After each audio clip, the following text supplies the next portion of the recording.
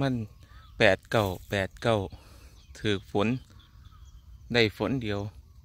ขึ้นมาแล้วขึ้นมาแล้ว ครับสวัสดีครับพ่อแม่พี่น้องเกษตรไรมันสำปะหลังสุภูสุขนครับนะครับมื้อนี้นะครับนายออฟนะครับ หรือเกษตรออฟนะครับลูกในหวานหลานในสวนของพ่อแม่พี่น้องนั่นแหละครับมื้อนี้กับพาพ่อแม่พี่น้องมาเบิงมันสำปะหลังนะครับสายพันธุ์ซีมอาแปดเก้าครับ หรือ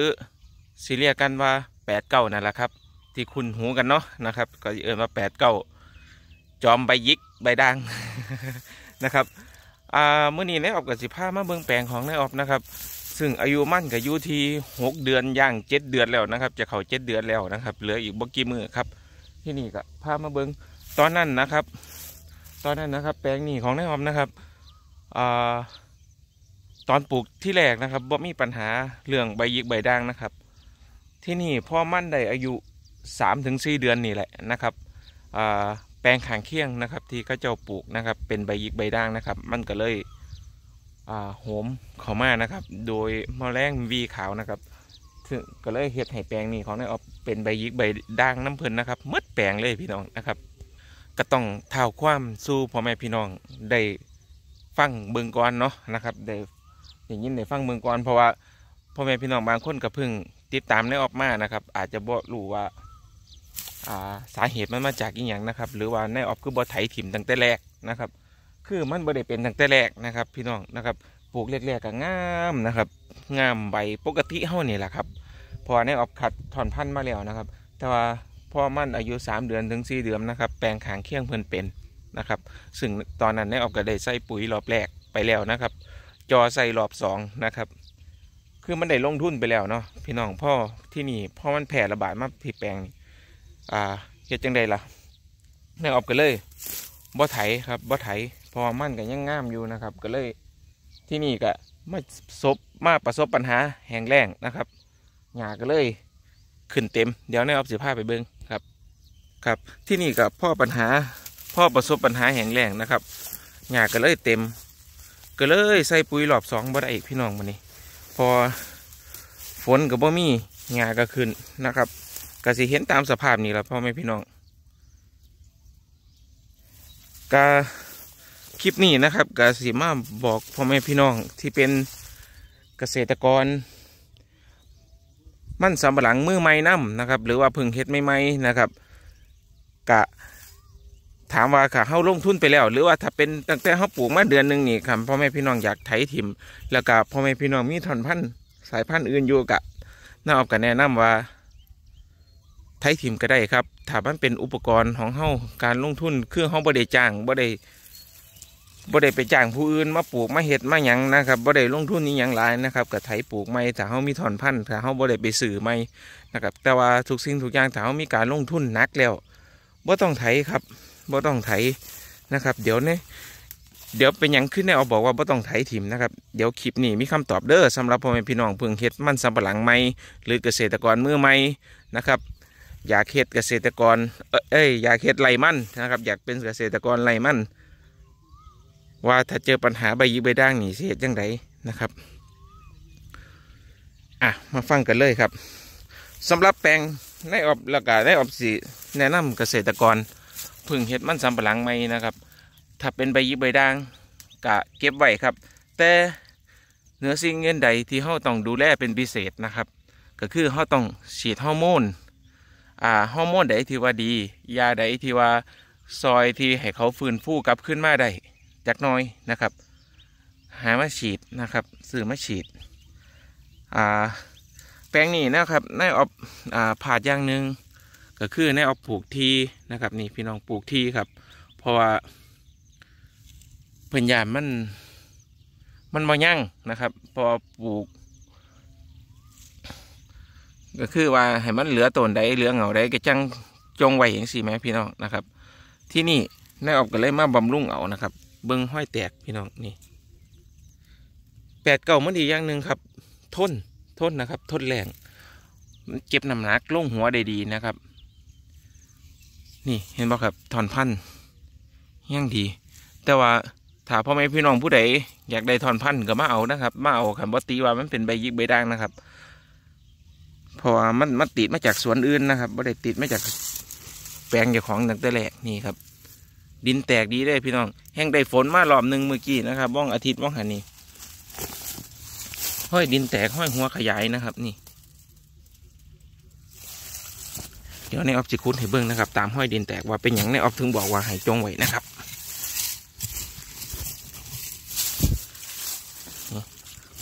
ดินแตกเงามาถึงนี่นะครับมื่อนี้นายออกมาคนเดียวครับ สาวแต้มบ่ได้มานํนะครับบ่มีผู้ใดไทยกองให้นี่ครับ ดินยังซุ่มอยู่ครับ พี่น้องขันดินซุ่มๆยังสี่นะครับ หายห่วงนะครับ แล้วตอนแรงๆนะครับอย่ากระยะไปซีเรียสมันนะครับ มันมันจะสลัดใบออกเมื่อนะครับ จนกว่าจะมีฝนมากนะครับนี่มันถึงจะโปร่งยอดมั้งไหม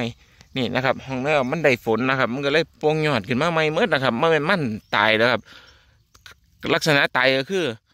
ต้นต้องหักเหลือแต่เงาครับ มันจังสิบว่าเกิดนะครับ ขนาดเหลือแต่เงาบางที่ มันก็ยังโปร่งยอดขึ้นมาใหม่นะครับถ้ามันได้ฝนนะครับเดี๋ยวนี้จะคุดให้เบิ่งครับพี่น้องหกน่อยเด้อครับสวนนะครับ เพราะว่าเฮ็ดบ่ทัน นี่เห็นป่ะครับ นี่หัวมันครับ นี่ฮึบ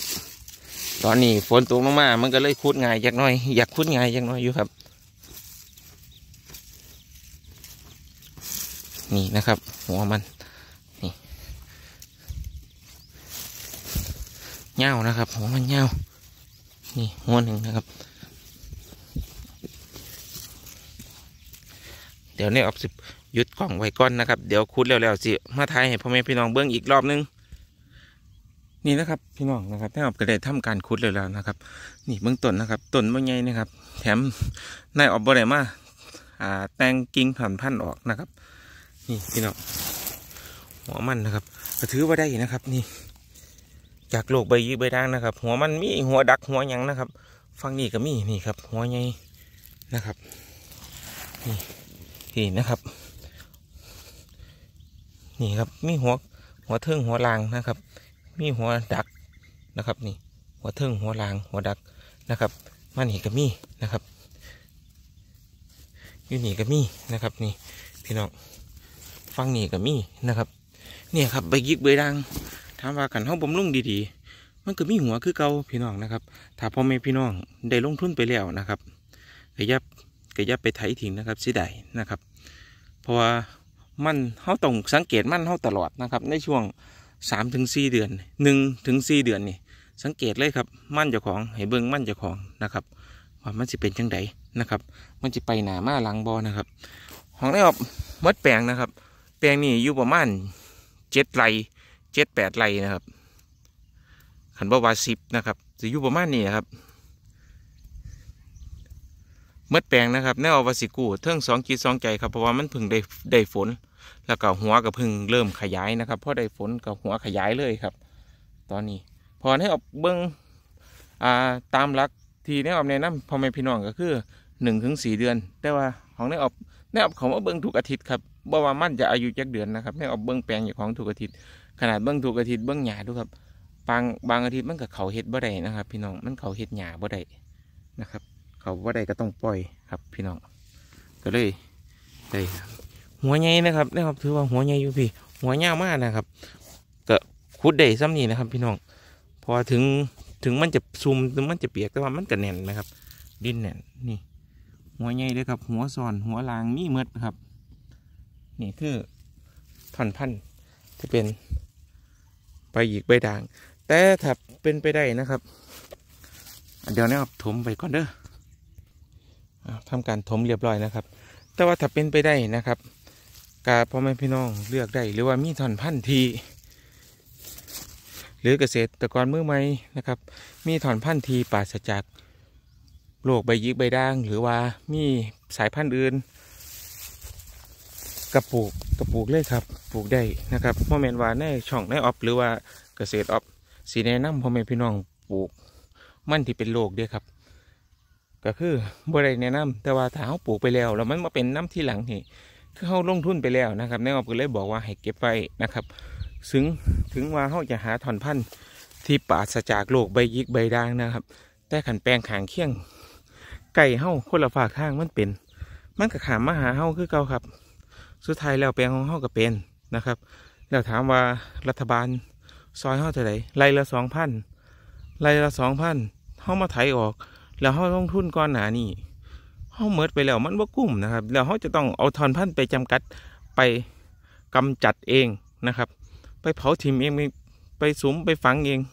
ไหนเฮาจะมาตัดออกไหนเฮาจะมาไถถิ่มพี่น้อง ถึงพี่น้องตัดออกแล้วไถออกแล้ว แต่ถ้าทอนพันธุ์ที่มันเป็นอยู่เนี่ย มันยังอยู่ในไห้เฮาอยู่ขันพี่น้องออกบ่หมดเฮาปลูกไม่ถอนพันธุ์ที่ว่าบ่เป็นใบยิกใบด่าง มันก็ติดกันคือเก่ามันก็มาเป็นคือเก่าจากต้นหนึ่งสองต้นมันก็เป็นสิบต้นยี่สิบต้นคือเก่าครับพี่น้องนะครับ นี่ของแนวกระเมิดแปลงครับนี่ ที่นี่สำหรับเกษตรกรมือใหม่นะครับ เดี๋ยวแนออกสีพามาเบิงนะครับว่าเป็นยังแนออกถึงว่าถึงว่าผู้ที่ปลูกมั่นไม่ไม่เกษตรกรมือใหม่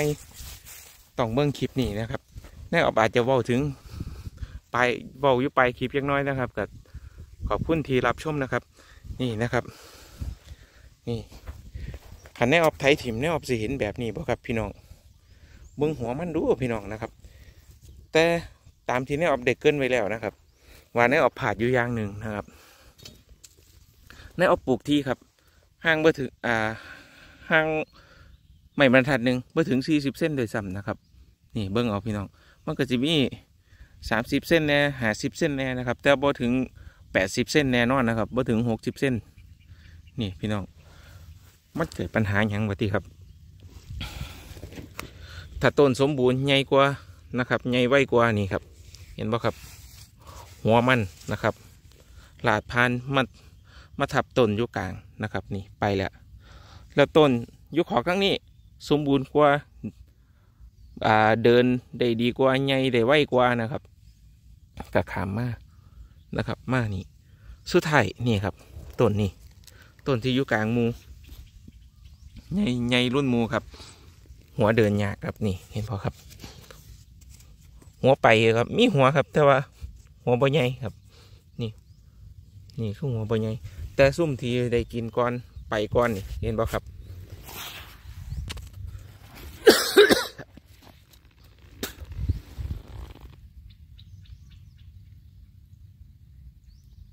ได้กินก้อนไปก้อนนี่ครับ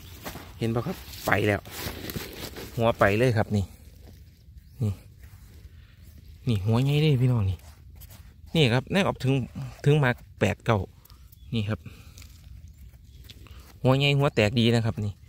แน่ออกขุดลงไปเลิกบ่ได้นะครับ เพราะว่าหากพวกนี้มันยังมีอยู่นะครับ นี่เบิ้งรอครับหัวใหญ่หัวงามนะครับ เบิ้งฟังนี่ครับ นี่ครับ มีแต่หัวงามๆหัวใหญ่ๆครับ พอมันพิ่งได้ฝนมากนะครับนี่แม่เอาภาษีร้อยจังน้อยปู่มีหน้าเมษเมษาครับพอดีแม่เอาว่านี่ครับ หรือว่ามันจะไปตรงกับมันหน้าเขาเจ้าออกมันจริงนี่ครับ หัวไปเมื่อได้ครับนี่ นี่ก็จะมาตัวนี้ครับนี่ เห็นบ่ครับขับมันปลูกไก่กันนี่ครับนี่ต่ำกันไปหมดเลยครับ ที่จริงต้องปลูกข้างนะครับแปดสิบเส้นถึงเก้าสิบเซนนะครับ ต้องปลูกข้างก็นี่ครับ ที่นี่เราบอกปลูกข้างๆนี่ว่ามันยังได้ครับมันจะได้ผลก็นี่นะครับ นี่เห็นบ่ครับไม่ต้องหัวงามๆเกษตรกรมุ่งมือใหม่นะครับ ปลูกข้างเลยครับ ระยะห่าง หัวมันขยายได้ดีกว่านะครับกันเขาปลูกที่เขาลงทุนหลายเลยครับบ่แม่นว่าเขาได้สิได้หลายเด้เขาปลูกที่การใส่ปุ๋ย ครับพ่อแม่พี่น้องใส่ปุ๋ยแบบหยอดมันบ่หยอดตามก้นต้นนี่นับเลยมันกระดังได้สามแต่ว่าการเขาปลูกห้างระยะเหนียวเขาก็ใส่แค่สองเขาประหยัดได้หนึ่งหนึ่งหยอดนะครับเขาประหยัดได้หนึ่งหยอดพอถึงเขาจะหยอดลงนี่หักไอหัวบ่เดินแล้วเด้พี่น้องหัวมันบ่เดินนะครับ แต่หัวซุ้มนี่สิได้แท้นะครับมันสิขยายใหญ่กว่านี้ด้วยซ้ำนะครับเพราะมันมาขัดกันปุ๊บมันหยุดเด้ครับ มันอยู่การขยายนี่นะครับ ฝาก ถึงนะครับฝากให้พ่อแม่พี่น้องเกษตรกรไรมันนะครับ ที่พึงเฮ็ดไรมันนะครับ หรืออาจจะเป็นอาเอิญกันว่ามือไม่มือยังกะ หรือว่ามือเก่านะครับ ที่ว่ามักที่ที่กะล่องพิจารณาเบิ้งนะครับแนวบ่ได้ก็คือบ่ได้ว่าเจ้าของเฮ็ดถือเฮ็ดผิดนะครับ แล้วก็บ่ได้ว่าพ่อแม่พี่น้องเฮ็ดถือเฮ็ดผิดนะครับทุกสิ่งทุกอย่างเฮาเอามาแชร์กันพี่น้องนะครับเฮาเฮ็ดแล้วมันเป็นจังไดเฮามาแชร์กันเบิ่งอาจจะขึ้นตามสายพันธุ์นํนะครับ บางสายพันธุ์ก็ อาจจะที่ได้นะครับ ที่ได้ห้างได้ถ้าพ่อแม่พี่น้องนะครับ มีประสบการณ์ดีๆ หรือว่าเคยเฮ็ดแบบใดนะครับ พิมพ์แจ้งในออฟใต้คลิปนี้ก็ได้นะครับ ว่าในออฟอ่าหน้าเคยเฮ็ดแบบนี้พ่อเคยเฮ็ดแบบนี้ลุงเคยเฮ็ดแบบนี้ในออฟหมอเซียวเฮาเคยเฮ็ดแบบนี้นะครับ แจ้งได้นะครับในออฟเปิดรับนะครับในออฟเป็นน้ำ ขอนแก้วนะครับบ่เป็นน้ำเต็มแก้วนะครับ เป็นน้ำขอนแก้ว มีอีหยังเอามาคุยกัน เอามาเว่ากันนะครับ เพราะว่าในออฟกับบ่ได้รู้ไปร้อยเปอร์เซ็นต์นะครับ แต่ว่าอันใดที่ในออฟเฮ็แล้ว มันดีก็เอามาแชร์พ่อแม่พี่น้องนะครับ แปลงนี้ในออฟเสียดายอยู่ในออฟปลูกที่ครับ แต่ว่าพูดถึงหัวมันก็สิประมาณนี้นะครับ ทั้งหมดนะครับในออฟยางขุดเบิ้องหมดแล้วนะครับ อันนี้ก็ขุดไว้นะครับเพราะว่ามาผู้เดียวนะครับ ใส่มีดขุดไว้เทึงมีดเทึงมือครับพี่น้อง เอาพี่น้องนะครับ เดี๋ยวเอาครับพี่น้องนะครับสำหรับคลิปนี้นะครับก็อาจจะยาวหน่อยนะครับแต่อยากให้พ่อแม่พี่น้องได้เบิ่งว่ามั่นใบยิกใบด่างนะครับ ที่ว่าบ่ได้เป็นตั้งแต่เกิดนะครับแล้วก็าสายพันธุ์แปดเก้านี่ควรปลูกที่ปลูกห้างซ้ำไถนะครับก็อธิบายในคลิปไปแล้วนะครับก็ฝากถึงพ่อแม่พี่น้องนะครับ เอาไปปรับปรุงปรับใส่นะครับ หรือว่ามี เหตุผลดีๆ ที่ว่าจะมาบอกมาเตือนให้ออกกับบอกได้เตือนได้คือเก่าแหละครับพี่น้องนะครับบ่ได้ตีบ่ได้ว่ากันบ่ได้หยังครับในออกเป็นน้ำขอนแก้วนะครับบริเวณน้ำเต็มแก้วนะครับ แล้วก็ยองเนาะหัวมวนใดคือเก่านะครับสำหรับครับสำหรับคลิปนี้อ่าในออกบขอขอบคุณพ่อแม่พี่น้องที่เบิ้งคลิปจนจบนะครับกับผู้ใดบ่สะดวกเบิ้องจบก็บ่เป็นยังครับนะครับ เอาเอาที่เจ้าของสะดวกนะครับพี่น้องครับสำหรับคลิปนี้ ในออกขอลาไปก่อนพอกันไม่คลิปหนาครับในออกจะพาไปเบิ้งอีหยังไปเฮ็ดหยังไปเบิ้งมั่นสวนใดแปลงใดนะครับ ติดตามรับชมกันนะครับ หรือมีวิธีการเฮ็ดมั่นที่ดี หรือบดีจังใดก็ฝากพ่อแม่พี่น้องติดตามรับชมในคลิปต่อไปครับสำหรับคลิปนี้นายออบขอลาไปก่อนพอกันไม่คลิปหนาครับสำหรับคลิปนี้ สวัสดีครับ ผมบ๊ายบายครับ